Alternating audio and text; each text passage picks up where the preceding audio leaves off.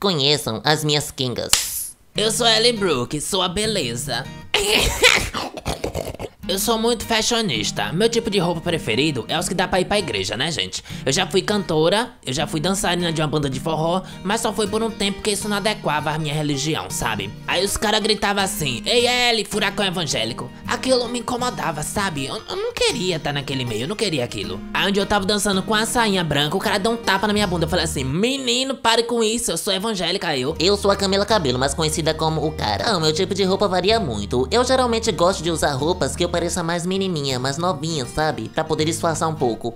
Mas eu sou muito doida, gente. O que, o que tiver que fazer eu faço, não sou aquelas que perguntam. Eu chego já jogando a roupa em tudo quanto é lugar. Meu quarto é um quarto de macho, você precisa ver, né? Mas aqui tá até arrumada. Mas daqui a pouco você vai ver como é que vai estar tá esse varal de roupa. Dizer que eu falo pelos cotovelos, pelo menos eu falo. Meu nome é Lauren Jauregia e eu tenho um jeito bem peculiar e você vai entender agora.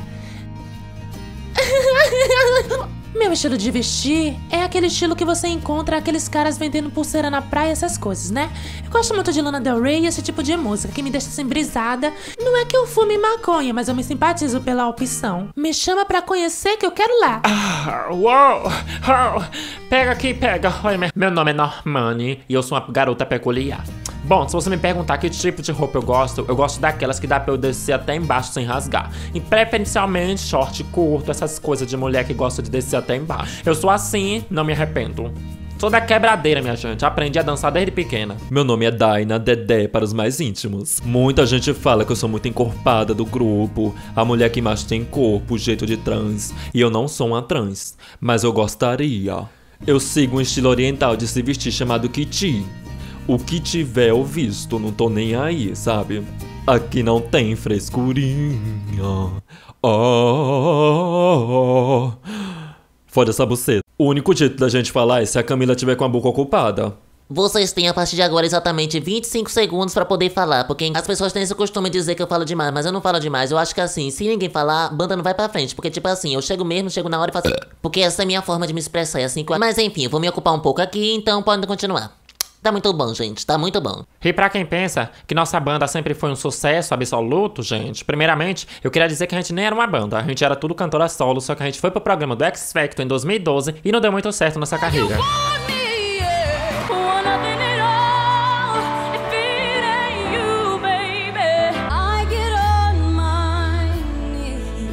É, eu acho que tinha gente demais, então nós cinco fomos desclassificadas. É, a gente tinha muita esperança quando chamou no palco, eles chegaram e falaram assim para todas nós: Ei, vocês, queridas. Eu não sei se isso daqui tava no chão ou se é pra comer. Mas enfim, deixa ele dar mole. Então, suas lazarentas, a gente pensou bem, vamos juntar vocês cinco para tentar sobreviver. Então foi a nossa única forma de continuar naquele programa. Então a gente disse assim: É, quero agora, quero agora. Como é o nome do grupo? Vamos ver.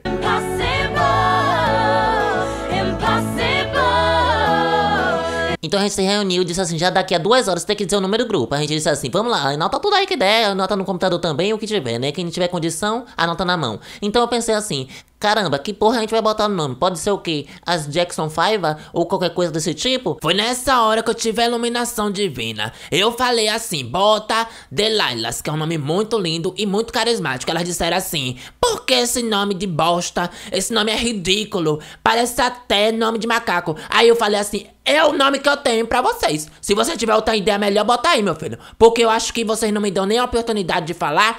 Toda hora que eu tô falando, alguém entra no meu assunto, alguém me atrapalha. É, isso mesmo. A gente tava sem tempo, então a gente teve que botar Delilahs mesmo ali por ali. Depois disseram que não tava bom. Aí mudamos pra Fifth Harmony. Quem vê de fora pensa que aquele programa é coisa bonita, coisa linda. Mas lá dentro a gente sofre, gente. Pegaram a gente, as cinco, botaram naquele palco e disseram: É, botaram mesmo, botaram assim, vocês se espalhem aí, se espalhem, não se juntem. Aí eu falei assim: Ele não tá dando espaço pra gente. Ele disse assim: vai ficar rodando aqui que nem peão de puta. Quero todo mundo rodando. Se se bate uma na outra, cai no chão. Sai do programa. Então foi uma pressão psicológica muito grande. No começo do grupo, a gente tinha uma amizade muito grande, uma amizade forte. A gente se dava muito bem.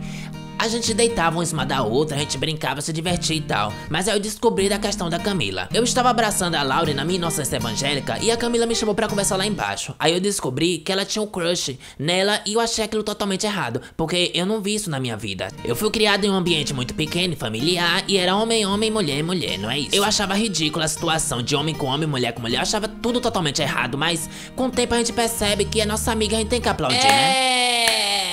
Eu aplaudi pra mostrar a igualdade, mas toda vez que ela dormia, eu pegava água benta assim na mão e jogava no rosto dela, sabe? Ah, eu tentei tanto, gente, que ó, cansei. Toda vez que a gente ia se apresentar, botava elas pra orar pra ver se Deus tinha misericórdia dessas meninas. Mas era difícil. Camila não queria orar. Aí eu falava, não se preocupe, é rápido, só foi 25 minutos. E essa foi nossa primeira oração de hoje. No começo eu pensei que o nosso desafio era só passar no programa, só que depois a gente teve que se adaptar uma a outra, é difícil. Não a mim. Não a mim porque eu sou uma pessoa maravilhosa, uma pessoa bem simpática e eu sugeri um jogo de perguntas e aí a gente ia perguntando uma pra outra e tal. Até que eu perguntei pra Lauren, querida, você é solteira? Ela disse que sim. Eu disse, caramba, yes! Ela disse, por que yes? Eu falei, não, menina, você se confundiu. Eu falei que gosto de ouvir jazz. E aí, mano das quebradas, beleza? Ei. Na época do programa, eu era bem pobrinha na minha casa. Eu morava com 17 pessoas, não tinha espaço pra nada. Então tô acostumada a ter mulheres em cima de mim, homem também.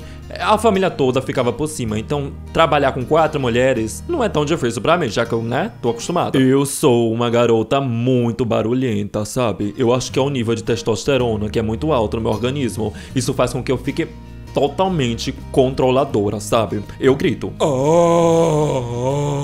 Mas eu espero que dê tudo certo entre a gente, porque senão eu tento carreira solo. Quando eu descobri que a partir daquele dia eu ia trabalhar com quatro garotas, caramba, foi muito legal, muito divertido. Eu pensei, tipo, que nem acampamento, sabe? Que você se junta com suas amigas. Eu sou um pouco nojentinha, sabe?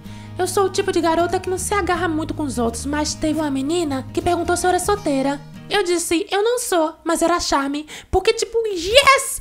Camry is real! Is real! Mas só que essa atitude deixou a Ellie Brooke um pouco nervosa e ela começou a controlar a gente.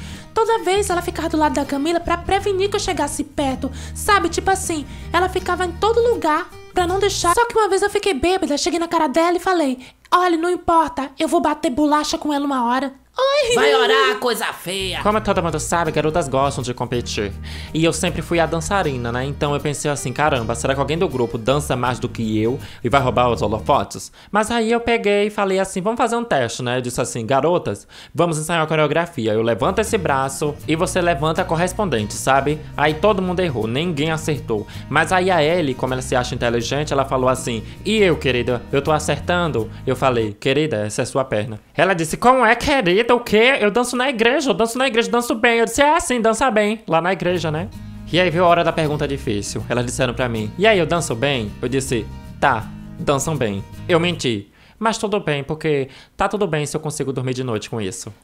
Reunião a gente estava bem, a gente conseguia conversar. Só a Camila que era muito espivitada. Não, e ela não, não, ninguém pode ser injusto assim comigo, gente. O quê? Pera aí, né? Por favor, né, gente? Eu falo porque eu preciso. Eu preciso É. me comunicar com vocês, porque senão a coisa não anda, gente. Alguém tem que É tomar isso conta, mesmo, é alguém isso tem que tomar a frente das coisas. Porque não é assim que É se... isso aí. Alguém tem que tomar conta dessa putanhada. Isso é verdade, isso me incomoda um pouco. Tem gente que é muito barulhenta, não sabe conversar que nem gente. É, quem que não é gente? Ah, isso é correr de Camila. Camila que é doida. O Ela quê? tem problema. Mulher, tu tava me defendendo uma hora dessa, mulher, e agora vem me atacar, me entregando aos porcos? Olha só, vagabunda, você não, não se meta comigo não, porque eu sou agressiva, viu? Eu saio daqui, eu só não saio daqui porque ainda tem uma rosquinha que eu tô escondendo aqui pra comer na estante. Mas olha, querida, se eu me retar, eu saio daqui de trás. Eu vou embora desse grupo, viu? É melhor você pensar bem no que você tá falando, porque qualquer hora você não me acha mais. E eu não quero nem saber. Isso não é previsão astrológica, isso não é nada, isso é apenas a vida. A vida é assim mesmo. De repente a gente tá aqui, de repente a gente some e a gente muda. Porque a vida é assim mesmo. Ai, essa porra tá caindo aqui, essa desgraça. Ai, enfiar esse microfone no cu de vocês? Ah, cada uma. Eu, eu não gosto de gente que faz assim comigo. Eu não gosto, eu não quero Olha discutir, não. Eu não tô aqui tá pra brigar com gritando. você. Eu quero Você tá apenas gritando, é conversar que doida. nem gente. Eu não quero isso. De eu não quero isso.